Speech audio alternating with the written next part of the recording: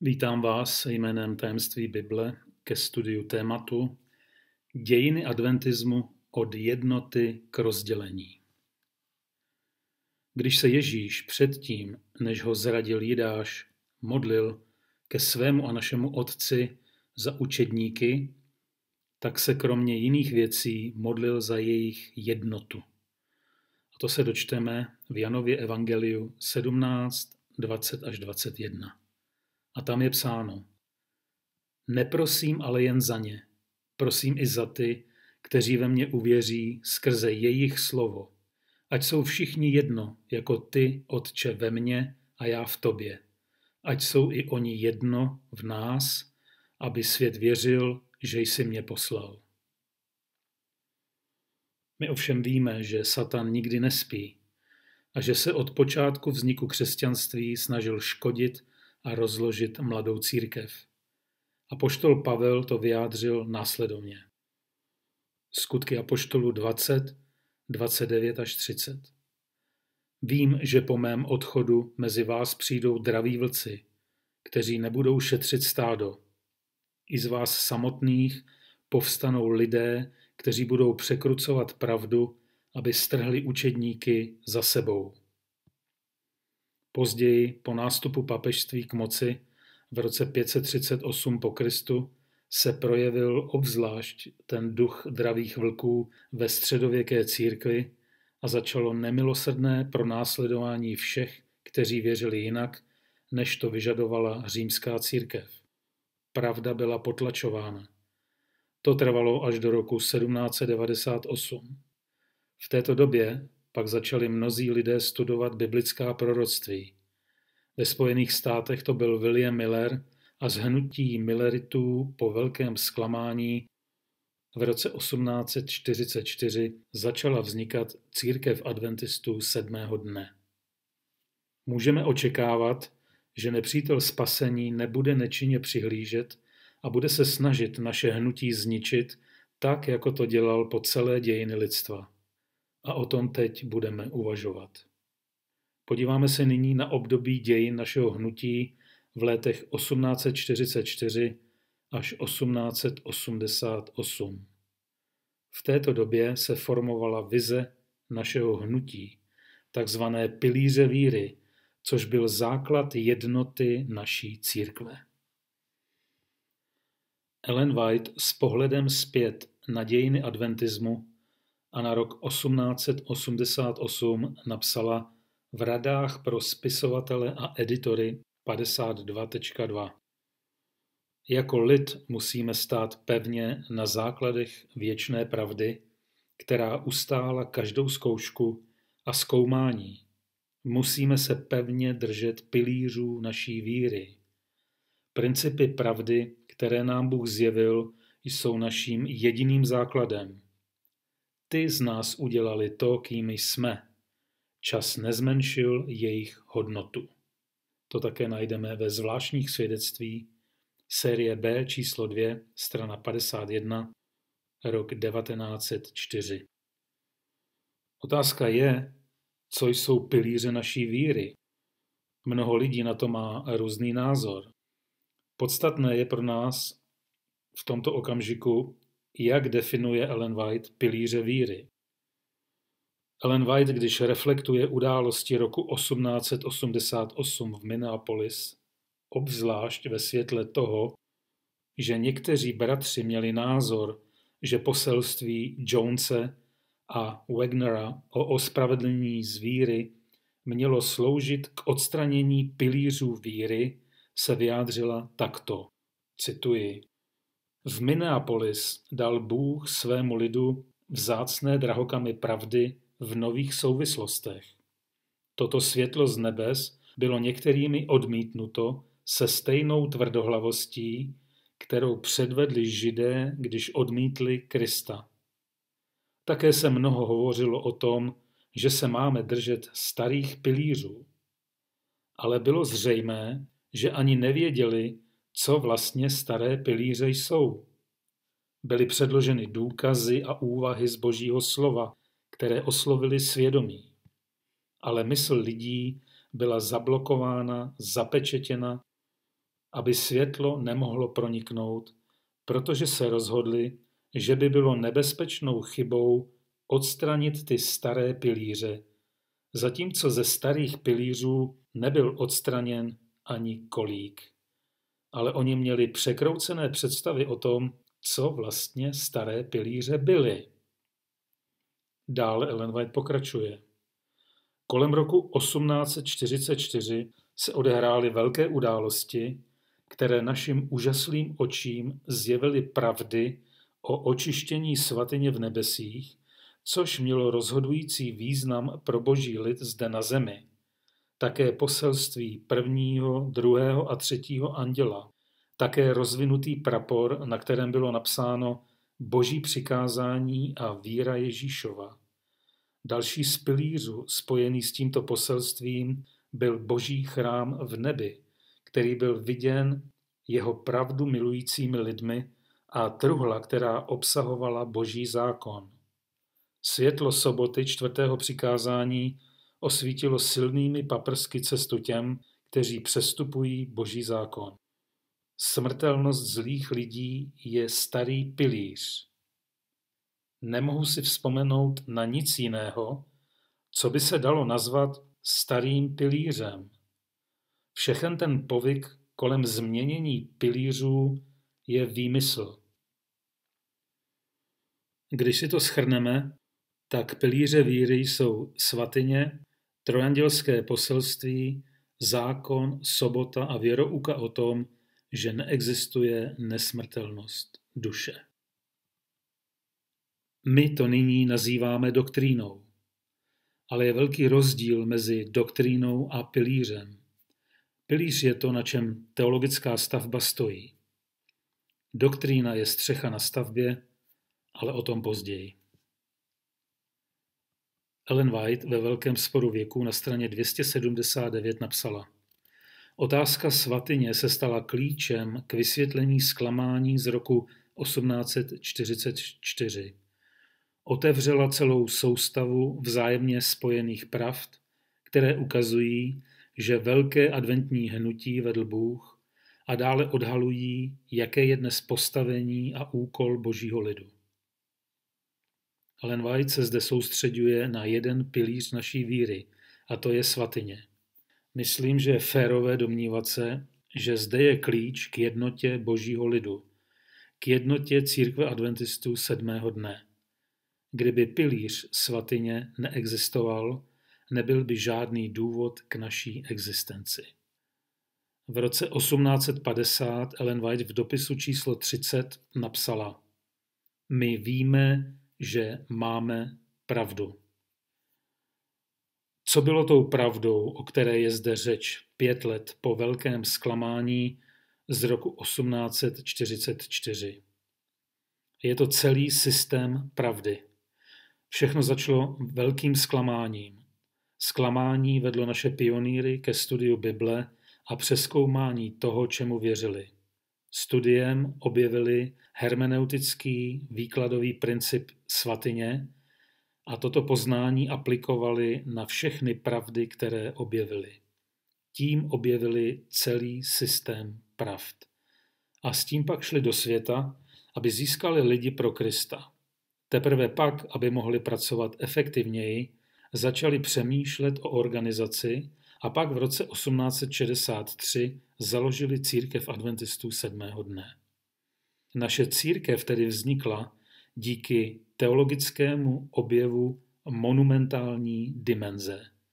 Možná ani oni sami si plně neuvědomovali důležitost a bohatství jejich objevu. Většina z nás v dnešní době nedocenuje a nevšímá si, nerozumí, nebo ještě hůř potlačuje tento teologický objev. Kdybychom si představili adventistickou teologii jako dům stojící na pevných základech, tak ten dům vypadá takto. Pevným základem, na kterém ten dům stojí, je to, co jsme podědili po protestantských reformátorech. A to je princip sola tota prima scriptura, tedy pouze písmo, celé písmo, tedy to, čemu říkáme starý i nový zákon, a písmo na prvním místě. Naše teologie není založená na Ellen White. To si nenechte od nikoho namluvit. Na tomto pevném základu neboli fundamentu stojí pět silných pilířů naší víry. A ty jsou svatyně, sobota, zákon, poselství tří andělů a učení o tom, že neexistuje nesmrtelnost duše. Na těchto pilířích je postavena střecha, která se skládá z celého systému pravd, které jsou propojeny v dokonalé harmonii. Když toto naši pionýři, tedy první generace adventistů sedmého dne pochopili, tak šli tyto pravdy vyprávět celému světu.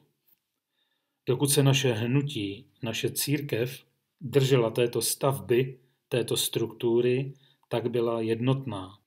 Pod vedením svatého ducha začala pro Krista dobývat svět. Chyba naší církve v současné době je, že chceme evangelizovat svět bez této stavby, bez této zkušenosti. Chybí nám moc hlásat naše poselství, protože z velké části zavrhujeme to, co nám bylo inspirací svatého ducha zjeveno. Měli bychom se tedy pod vedením svatého ducha vrátit zpět k Bibli a prostudovat si celý systém naší teologie, každý sám pro sebe, abychom se upevnili v tom, čemu věříme, a s tím pak v moci svatého ducha šířili pravdu Kristova evangelia na celé planetě. Vylití svatého ducha, to, čemu říkáme pozdní déšť, se nestane, když se o něj budeme pouze modlit a přitom budeme zavrhovat to, co adventistům první generace ukázal. Posuneme se teď dál v čase do roku 1888, kdy proběhla důležitá generální konference v Minneapolis. Ellen White o těchto událostech mimo jiné řekla, cituji, z dopisu bratrům, kteří se schromáždí na generální konferenci v Minneapolis 15. srpna 1888. A tam je psáno.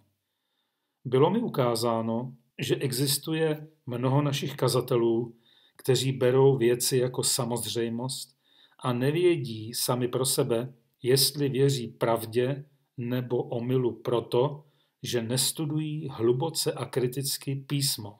Kdyby radši méně kázali a strávili více času na kolenou před Bohem a prosili ho, aby jim otevřel chápání pravdy jeho slova a tím měli poznání sami pro sebe a stáli na pevném základu. Boží andělé by je obklopili a pomohli jim v jejich úsilí. Toto píše Ellen White druhé generaci vůdců naší církve 44 let po událostech velkého zklamání a úžasných teologických objevů. Dále dopis pokračuje slovy. Existuje jakási nádherná lenost, kterou si dopřává velký počet našich kazatelů. Líbí se jim, že jiní zkoumají písmo za ně. Pak přijímají pravdu z jejich rtů jako fakt, ale nevědí, jestli je to biblická pravda, kterou by zjistili svým vlastním zkoumáním a hlubokým přesvědčením Božího ducha na jejich srdce a mysl. To je v manuálech z roku 1888 38.3. Jak můžeme tedy vidět, mnoho vůdčích osobností církve ztratilo pojem o tom, co jsou pilíře víry již v druhé generaci adventistů sedmého dne. Proč? Protože byli líní studovat sami pro sebe. Snažili se hlásat evangelium bez znalosti základů adventistické teologie. V dnešní době je to v mnoha případech tak, že lidé získaní pro Krista na evangelizačních akcích jsou nadšení a zapálení pro pravdu, se kterou se seznámili, protože byli seznámeni s pilíři víry, tedy základy adventistické teologie, i když třeba ne úplně komplexně, ale z nějaké části s tím byli seznámeni. Naproti tomu se v mnoha našich vzdělávacích institucích neučí ani pilíře naší víry a ani kompletní systém pravdy. Pravděpodobně proto, že mnozí, kteří vyučují tyto věci, je sami neznají nebo jim nevěří. Jak můžeme tedy očekávat, že naše mládež bude skutečně zapálena pro pravdu a obrácena? Stávají se z nich adventisté pouze podle jména nebo podle kultury. V církvi není žádná síla a to je ideální podhoubí pro rozdělení. Zhrneme si to. Generální konference v Minneapolis poukázala na problém druhé generace adventistů sedmého dne. Pilíře sice nebyly změněny, ale byly zanedbány. Důležité téma ospravedlnění zvíry nebyl pilíř. Nová druhá generace vůdců neměla jasno v tom, co pilíře víry jsou. U vůdčích osobností na úrovni generální konference se projevila lenost studovat Bibli.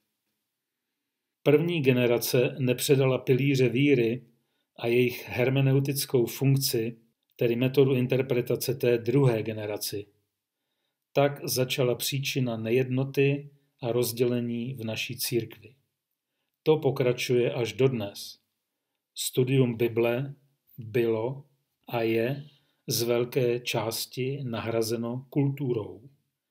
Důraz byl dán na ospravedlnění zvíry a toto téma, i když velmi důležité, začalo postupně vytlačovat svatyni jako důležitý pilíř naší víry.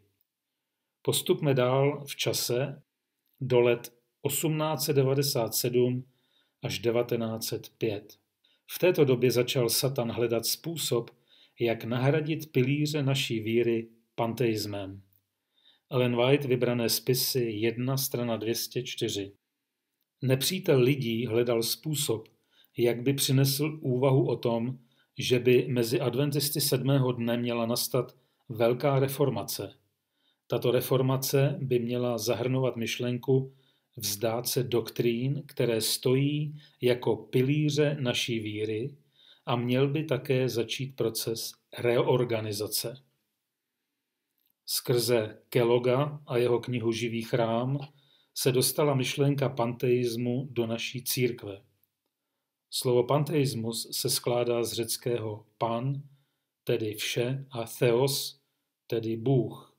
Jedná se o filozofický názor na svět, založený na přesvědčení, že všechno, co jest, tvoří jeden celek, který je božské povahy. Tuto myšlenku začali akceptovat někteří lidé na úrovni generální konference. Kdyby se tyto myšlenky a názory plně uchytily, tak by církev adventistů sedmého dne přestala existovat. Ellen White to po zázračné intervenci Pána Boha pochopila a postavila se proti tomu a adventismus byl zachráněn. Byl to útok na pilíře naší víry a bez těchto pilířů nemá adventismus smysl.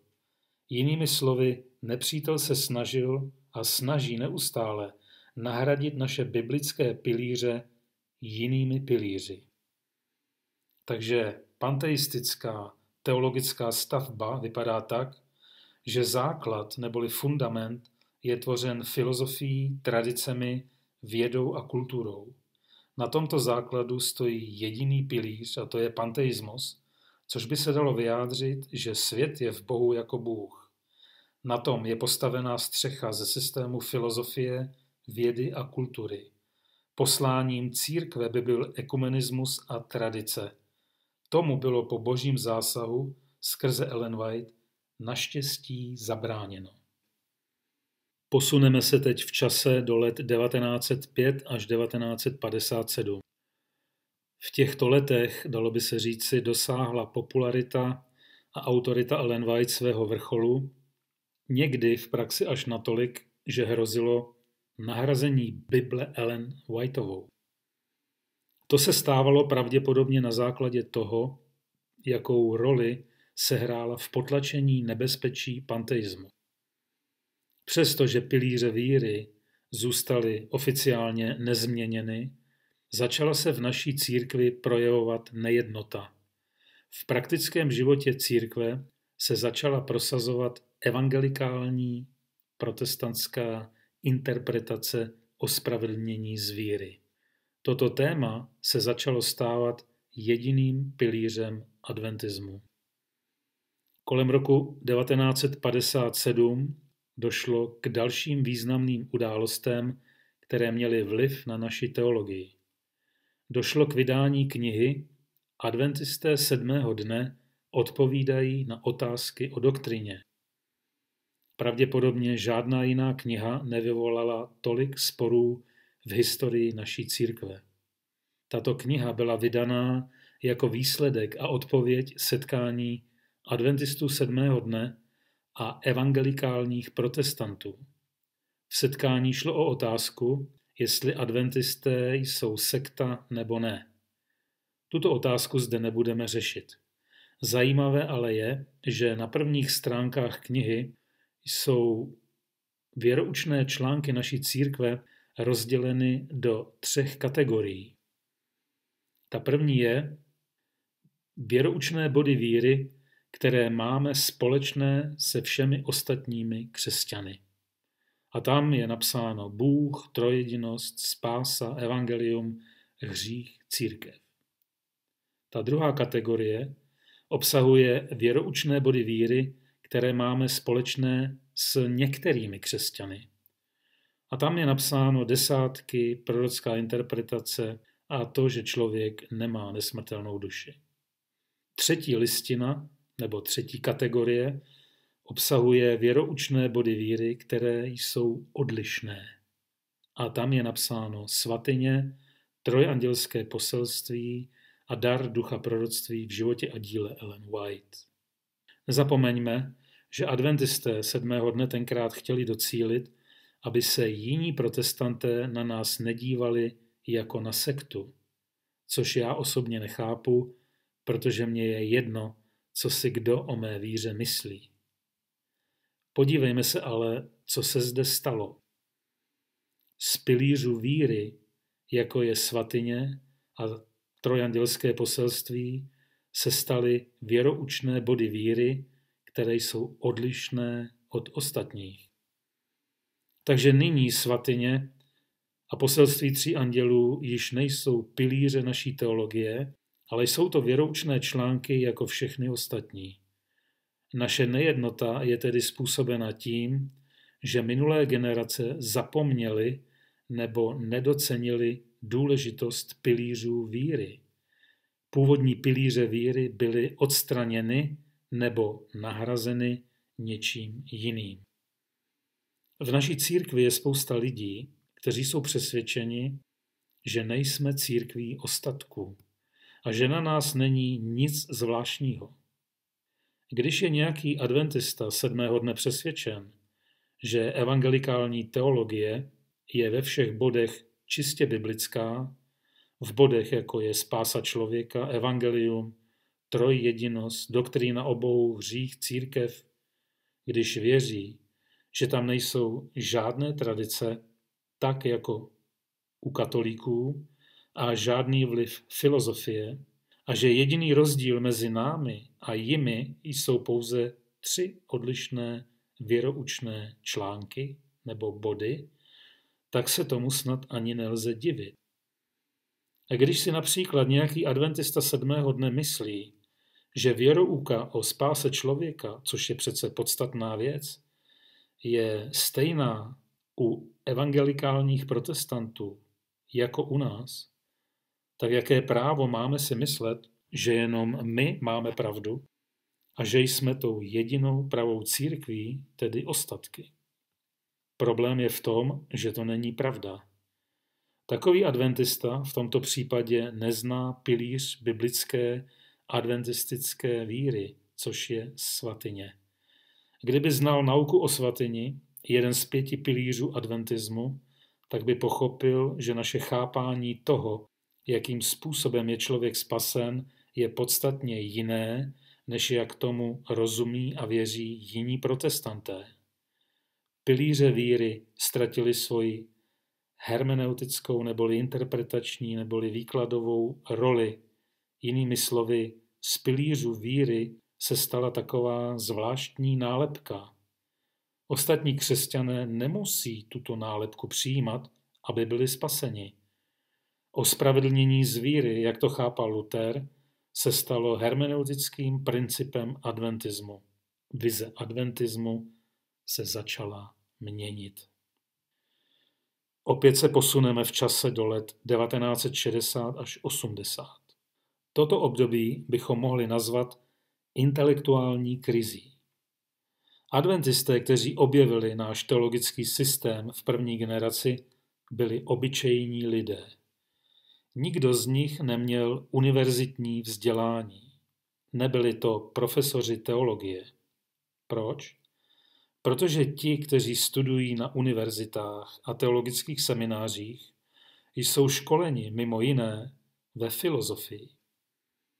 Filozofie přeloženo je láska k moudrosti. Ovšem je to láska k lidské moudrosti. Je tam příliš mnoho Aristotela, Platóna a Parmenida, Descarta, Davida Huma, Kanta, Kierkegaarda, Wittgensteina a jiných. Lidé školení v akademických institucích nejsou školeni ve většině případů v sola tota prima scriptura, tedy pouze písmo, celé písmo a na prvním místě písmo.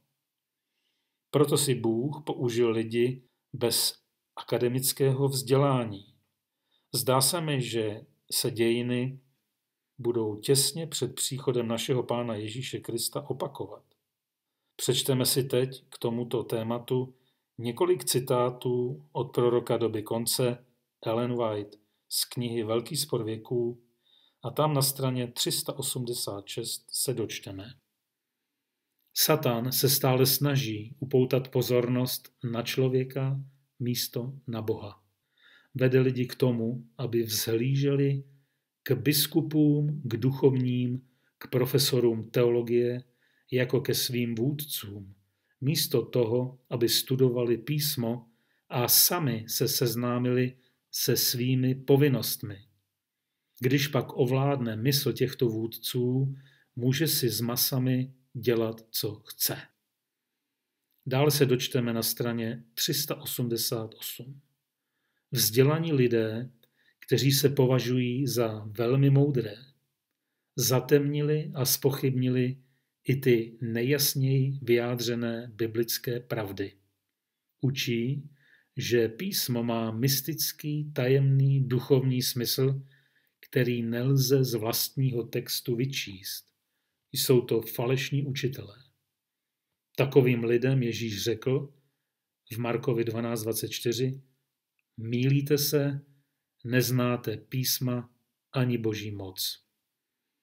Dále autorka píše První a nejvyšší povinností každé rozumné bytosti je naučit se z písma, co je pravda. Pak podle toho žít a povzbuzovat druhé, aby to dělali také.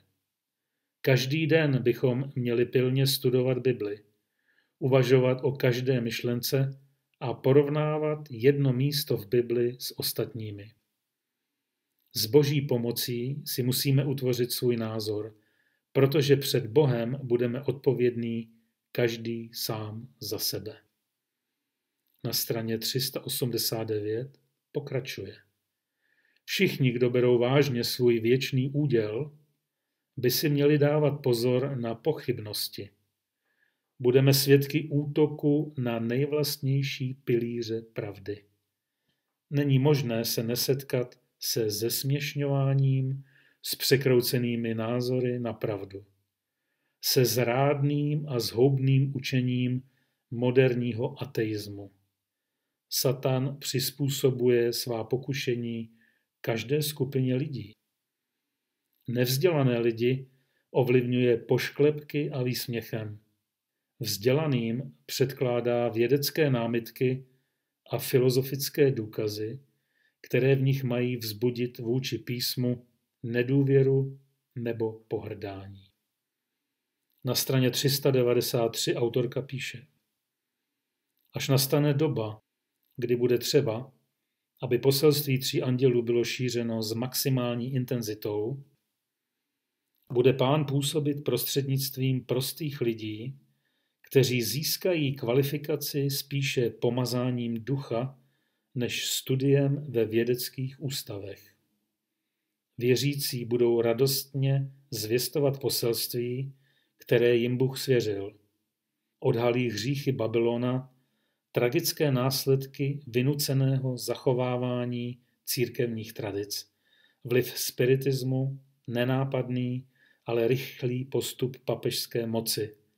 Budou burcovat lidi vážnými výstrahami.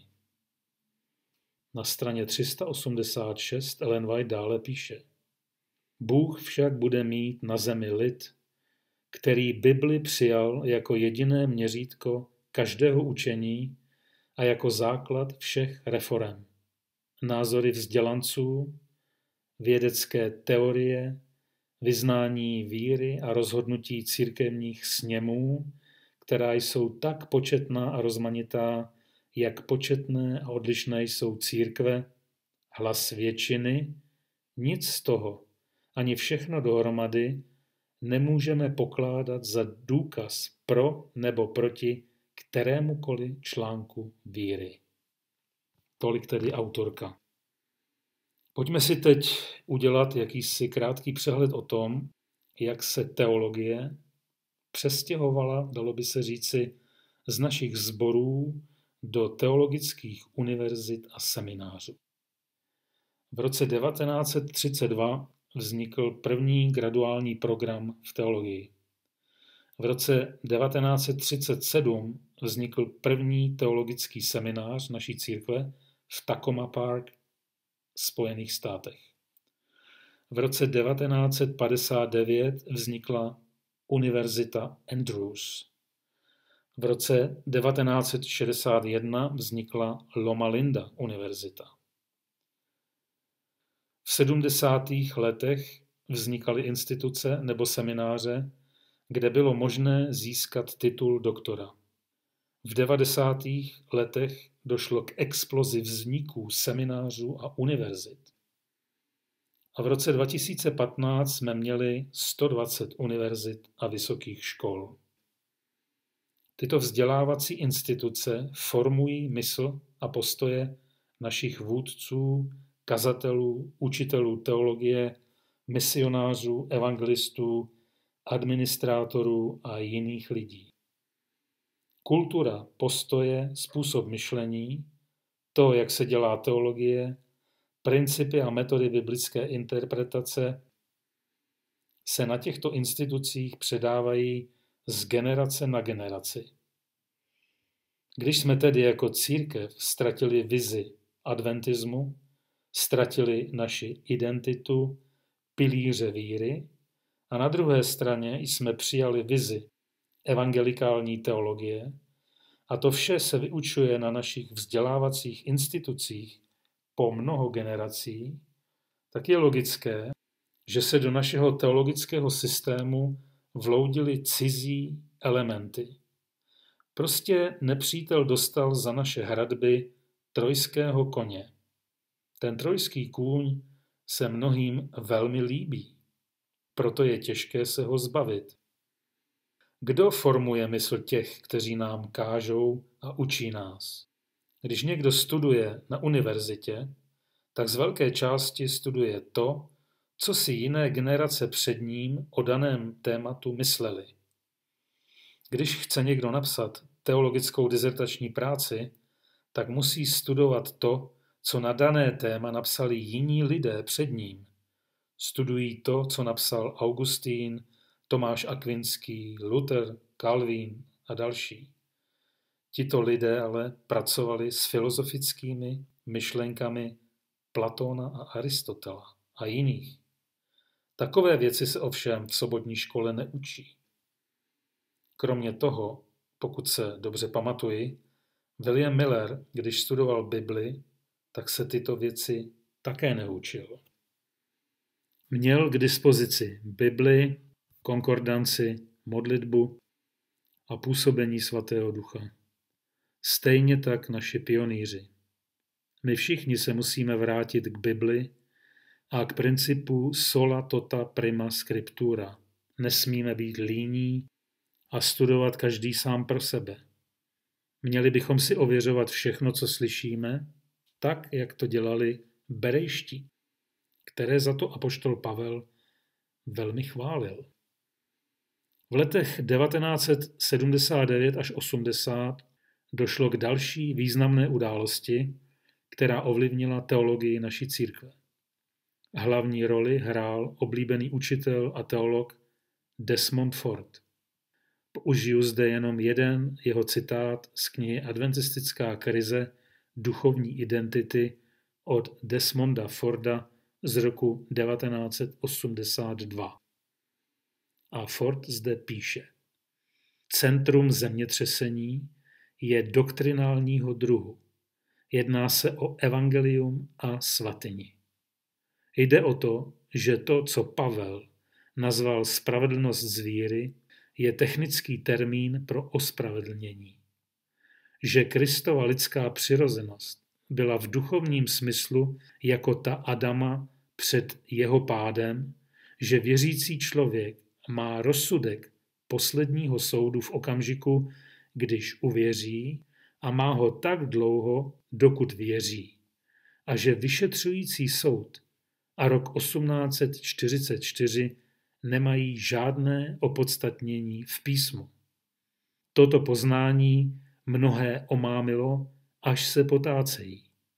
Zatímco na jiné, kteří uctívají ve stejném sboru, to má opačný vliv. Podstatná informace v tomto textu je, že se podle Forda nejedná o problém exegetický, tedy jak text vykládáme, ale o problém doktrinální, neboli věroučný. Ford sice často řešil problém, jak texty vykládat, ale v tomto případě je to útok na jeden z hlavních pilířů adventismu, a to je svatyně a s tím související vyšetřující soud spása člověka, zákon, co se děje po smrti a tak dále. Dále se Ford zaměřuje na to, co učí apoštol Pavel o spravedlnosti z víry. Když toto řekne, tak jde o to, jak Ford chápe to, co učí Pavel v dopise Římanům na toto téma. Mnozí teologové to tak dělají, že se zaměří na to, co jeden autor Bible učí o určitém tématu. To je svým způsobem legitimní. Ovšem adventistický přístup ke studiu Bible je, že porovnáváme všechny texty z celého písma k danému tématu a nejenom to, co o tom píše jeden člověk, byť by to byl pravděpodobně největší teolog všech dob apoštol Pavel. Dále Ford říká, že věřící člověk má rozsudek posledního soudu v okamžiku, když uvěří. Tomu jako adventisté sedmého dne nevěříme. My věříme, že o osudu člověka rozhoduje vyšetřující soud a hodnotí se celý jeho život. Důležité je tedy, jaké postoje má každý člověk na konci svého života, když bude zhodnocen celý náš život a naše lojalita ke Kristu.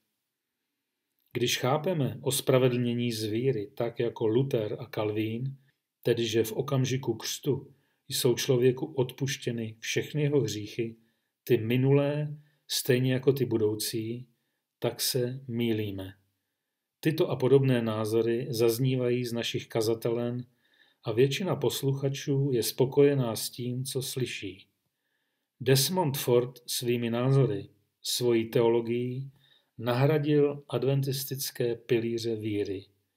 Jeho teologický dům, jeho stavba vypadá takto. Základ neboli fundament tvoří Bible plus církevní tradice plus filozofie. Na tomto základu stojí jeden pilíř, který by se dal nazvat falešné evangelium. Střecha je tvořena evangelikálním teologickým systémem postaveným na Luterovi a Kalvínovi a různými jinými modifikacemi toho samého. Tím se ovšem radikálně mění poslání naší církve. Dalo by se to vyjádřit ještě jinak.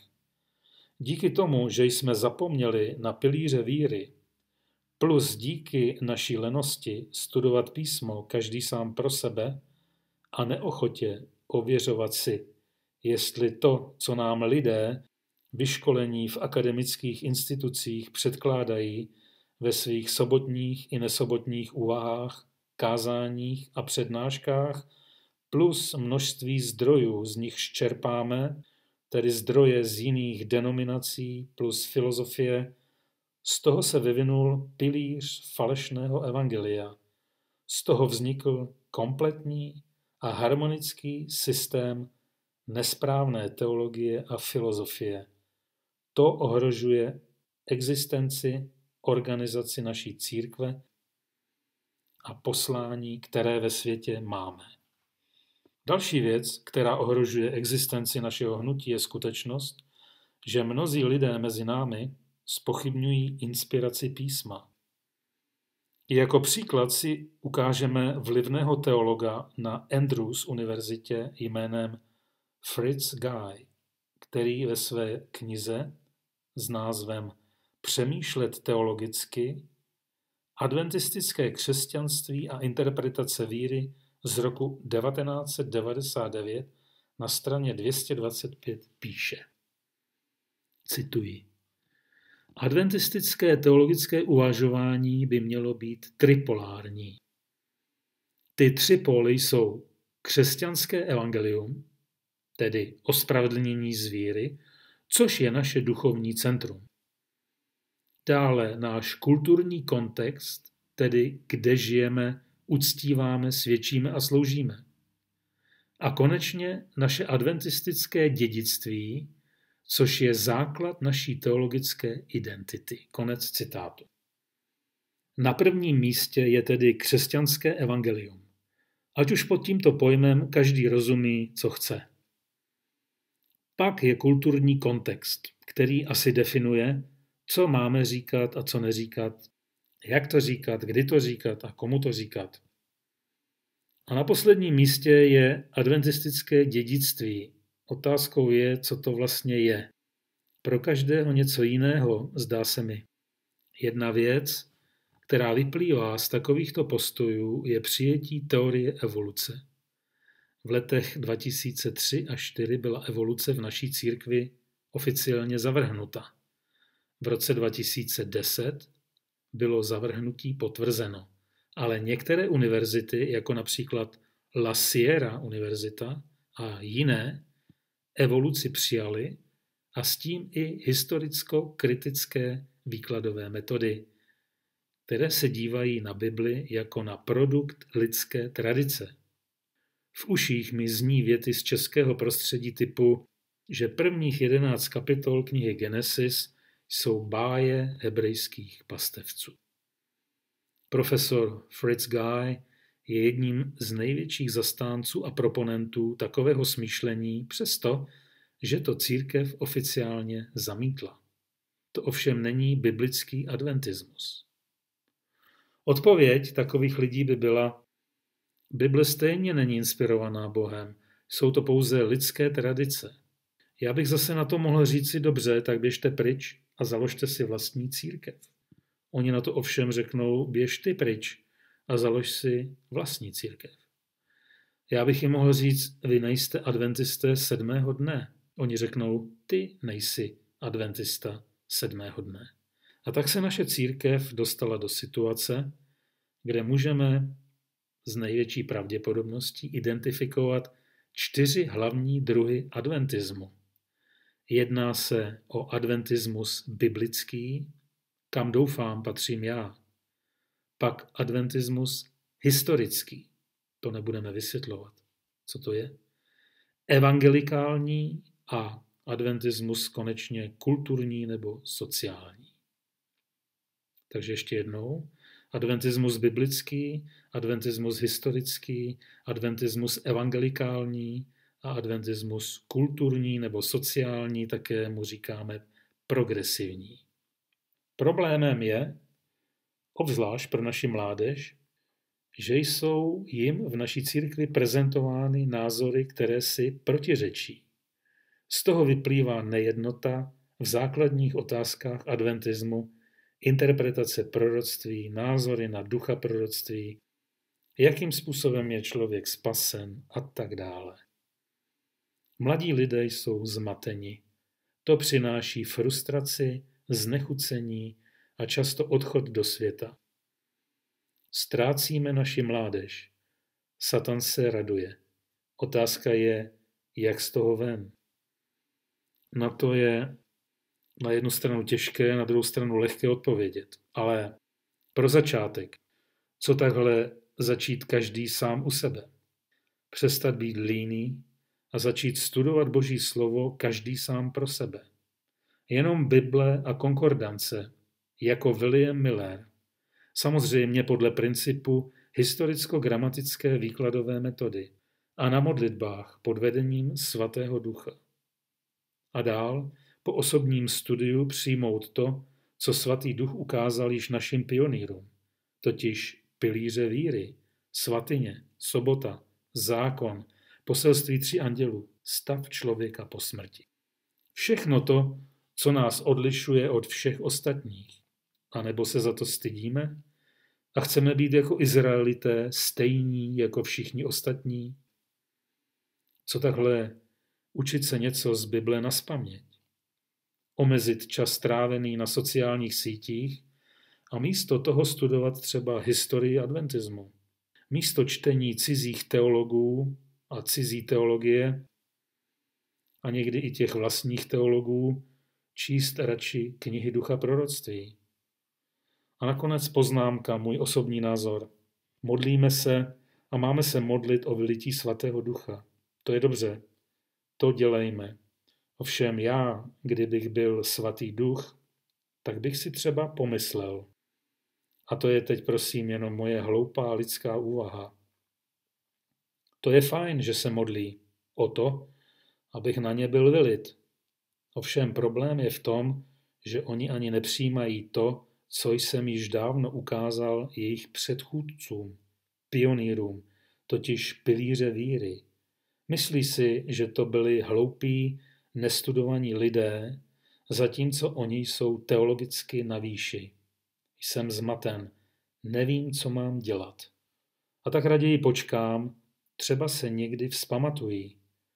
Jenom doufám, že to snad zase nebude trvat dalších 40 let, jako tenkrát u Izraelců, než vešli do zaslíbené země. Rád bych se s nimi totiž setkal tváří v tvář. A tím se s vámi loučím zase někdy naslyšenou. Amen.